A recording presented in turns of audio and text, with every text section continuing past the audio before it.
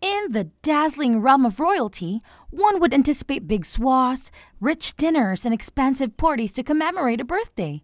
But for the Princess Catherine of Wales, turning 42 meant embracing the warmth of family and the beauty of homemade presents above the sparkle and glamour of high end extravaganzas. No doubt, she will undoubtedly be spoiled rotten by her family. We can reveal now a birthday cake courtesy of her mom, Carole Middleton. How sweet she is! According to Inside Scoop, the Princess of Wales' mother later revealed that she was involved lots in the planning of the family's big days. And it's no surprise, she has revealed she is planning an epic party for her beloved daughter, Catherine, this week. We're sure Catherine's parents would love to make a fuss of their daughter. Perhaps the granny of three Wales kids will help them make a birthday cake for her after all. Catherine has always enjoyed helping the children learn to bake the mother of three has decided to throw a celebratory bash at her 4.7 million pounds Bucklebury mansion. The Middleton family home, with its seven bedroom Georgian splendor, could be the perfect setting for an intimate family gathering known for her love of celebrations. The guest lists Mike Carole and her husband Michael, William, and Catherine, as well as her siblings Pippa and James, which means Prince George, Princess Charlotte, and Prince Louis are set for a fun filled family reunion with their cousins. The Middleton matriarch offered further insight into what birthday bashes look like at her home, enthusing, I love decorating with fabric bunting, and it's great to have a decoration that can be used year after year.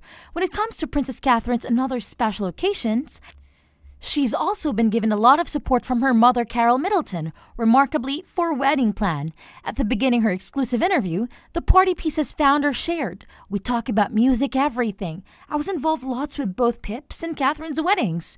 Carole added that she had learned some key lessons in the preparation process. She continued, But I think the most important thing as a parent is to listen to what your daughter wants. You can have all the ideas in the world, but it has to be about them and don't muscle in on the guest list. In addition, Catherine turned to her sister and bridesmaids Pippa for help with the invites. According to publican John Haley, she personally rang some people from the village, including himself. Speaking of the unexpected surprise, he is in the documentary.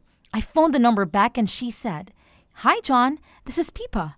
Kate would like to throw if you'd like to go to her wedding. I honestly never expected it. The Prince and Princess of Wales exchanged vows at Westminster Abbey before having a beautiful reception hosted by the late Queen Elizabeth II at Buckingham Palace. Carole showed no signs of stress on the big day, sporting a wide smile alongside her elegant blue Catherine Walker coat. She admitted, like every mother, I wanted to look my best, make my children proud, and enjoy the day. I honestly don't think I was any more stressed than any other mother the bride. The UK has spoken, and the royal family is still riding high on the wave of public adoration, with Prince William and Princess Catherine taking center stage in 2023 rankings of the most beloved public figures in a year filled with jaw dropping moments from a coronation spectacle to scandalous the royals managed to capture the heart of the nation. Surprisingly, it's not just any royals who top the list, but the dynamic duo themselves. The couple has firmly solidified their status as the darlings of the UK, leaving even King Charles trailing behind Princess Catherine's crown shines brighter than ever, securing the second spot on the list.